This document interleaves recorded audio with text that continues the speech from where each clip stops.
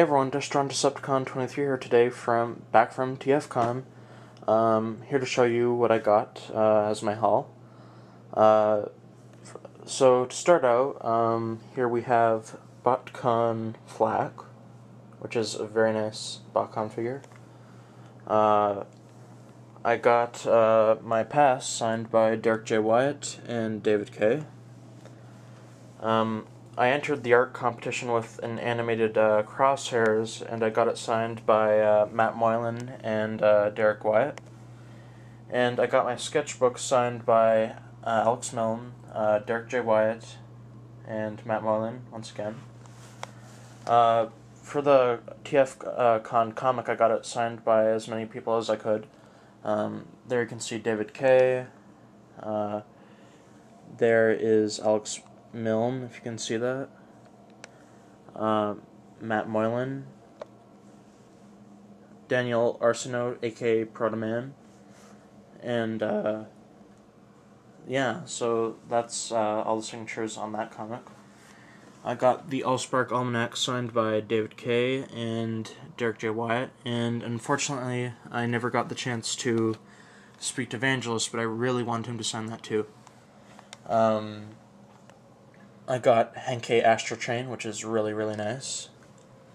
Uh, Universe Inferno, which never came around in Windsor, but oh well.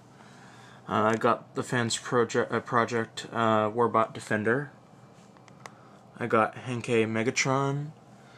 Uh, and I got San Diego Comic Con exclusive Nemesis Prime, which is really nice, and I really needed that mold.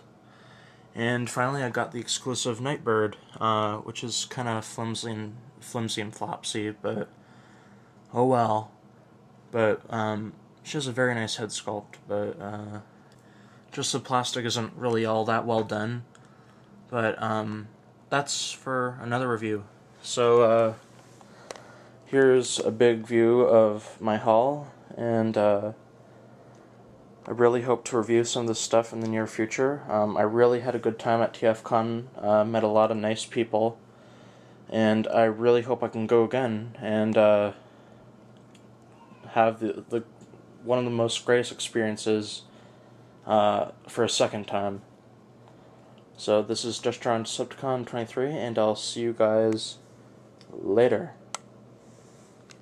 One little thing I forgot to mention is that I commissioned artwork from Alex Milne and Lil Former's own Matt Moylan to do some Tankor art, which is obviously my most favorite character, and they turned out really, really nicely.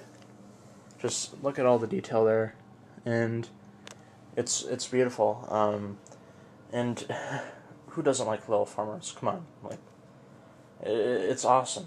And uh, uh, I'd also like to point out that I think I did very well for my uh, first con, which, yes, that is my first. I, TFCon was not only my first TFCon, but my first convention in general.